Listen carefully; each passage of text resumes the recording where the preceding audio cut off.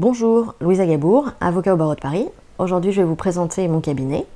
Donc, j'interviens essentiellement auprès de professionnels de santé, que ce soit des médecins, des infirmiers, des kinésithérapeutes, des chirurgiens dentistes, tout au long de leur carrière. Donc, que ce soit pour la création d'une structure, soit une selle, euh, soit une SCM, soit une CELAR, pour euh, savoir quelle est la structure la plus adéquate, ou soit lorsqu'ils exercent au sein d'un établissement de santé leur contrat d'exercice. Et par ailleurs, je travaille aussi avec des startups dans le secteur de la santé qui euh, me posent des questions sur quelles sont les lois applicables pour les dispositifs médicaux, quelles sont les lois applicables pour les médicaments, comment je fais.